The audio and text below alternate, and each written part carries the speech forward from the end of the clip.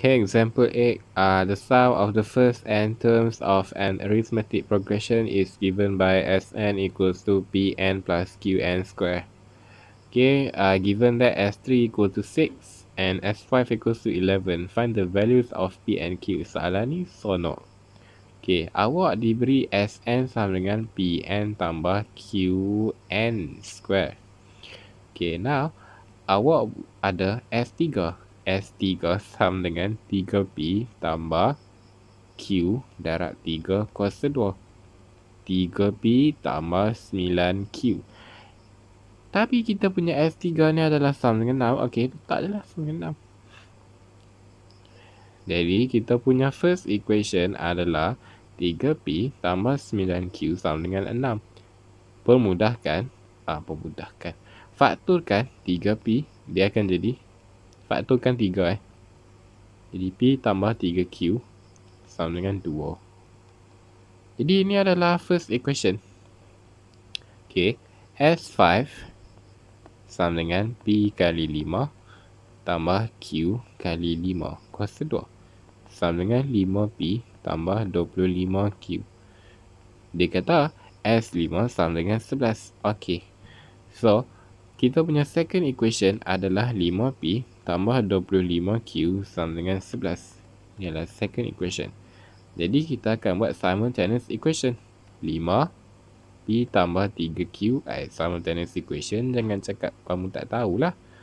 Kan? Yang ni kamu wajib tahu dah. Okay, 5P tolak 5P kosong. 15Q tolak 25Q. Negatif 10Q. Thank you. 10 minus 11 equals to uh, negative. Uh, negative dia. Ah, betul lah negatif. Jadi Q kita adalah 1 over 10. Okay.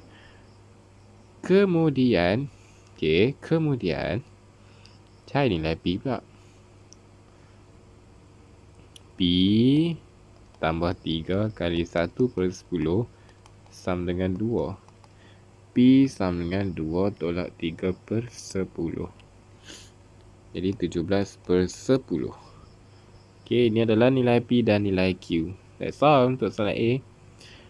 Okay, find Tn and the common difference. Okay. B. Kita punya Sn sama dengan Pn tambah Qn square maksudnya 17 per 10 N tambah 1 per 10 n square. Okay. Kita nak cari Tn.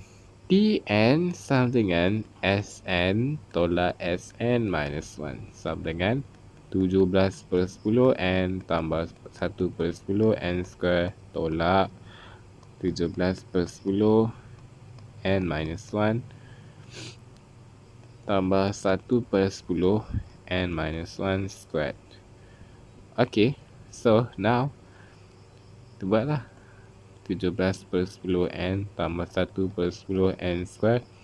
Tolak 17 per 10 n Tambah 17 per 10 Tolak 1 per 10 n tolak 1 square. Okay 17 per 10 n Tolak 17 per 10 n Kosong. 1 per 10 n square Okay uh, How about kita expandkan dulu yang ni lah. 17 per 10 Tolak 1 per 10 n square Tolak 2 n Tambah 1 Okay It will be 1 over 10 n square Plus 17 over 10 minus 1 over 10 n square Plus 1 over 5 n minus 1 over 10.